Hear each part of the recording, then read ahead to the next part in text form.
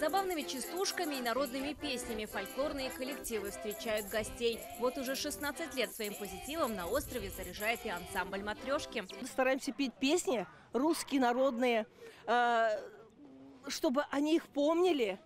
И на праздник эта вот традиция исполнения этих песен всегда оставалась.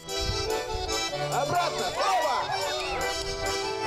Это уже ансамбль «Красная горка». Закружил в хороводе сотни гостей. Коллектив в фольклорных экспедициях собирает и изучает старинные народные забавы. Игра мотания пришла из южных регионов. Так называли близкого друга. Вот и сегодня каждый смог здесь поближе познакомиться, а может и подружиться. Настроение, конечно, праздничное, замечательное. Мы всех ждем здесь у нас на Масленице Свияжской. Будем веселиться, э, провожать нашу Масленицу, провожать зимушку, встречать весну.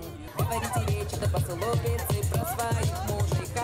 Одна из самых интересных частей программы – традиционное костюмированное шествие с чучелом масленицы по улицам Свияжска. В ленивом Торжке уже вовсю шли богатырские забавы и гуляла ярмарка. А здесь самая вкусная часть праздника. Гильдия поваров республики делится фирменными и старинными рецептами приготовления блинов. Их здесь готовят даже в печи. Кладу в печь.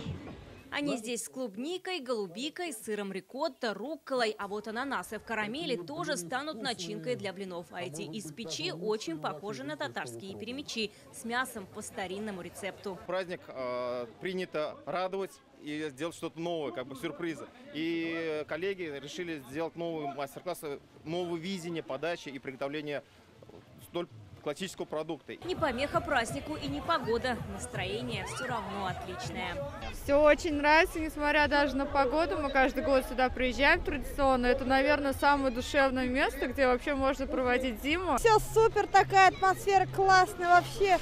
С праздником всех, с Масленицей. Погода немножко подвела, холодно, вымокли, ну зато блинов наелись. Счастливый, довольный, мокрый, уставший, но довольный. Зима так прощается. Последний день масленичной недели – прощенное воскресенье.